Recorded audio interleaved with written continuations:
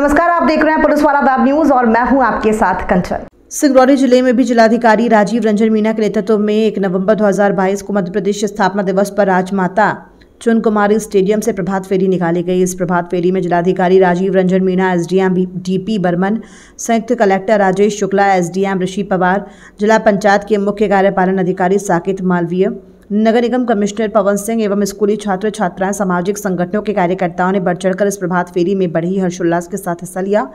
मिली जानकारी के अनुसार मध्य प्रदेश स्थापना दिवस का कार्यक्रम एक नवंबर से सात नवंबर तक आयोजित होंगे, जिसमें विभिन्न कार्यक्रमों के साथ खेलकूद के भी विभिन्न कार्यक्रम संपन्न होंगे।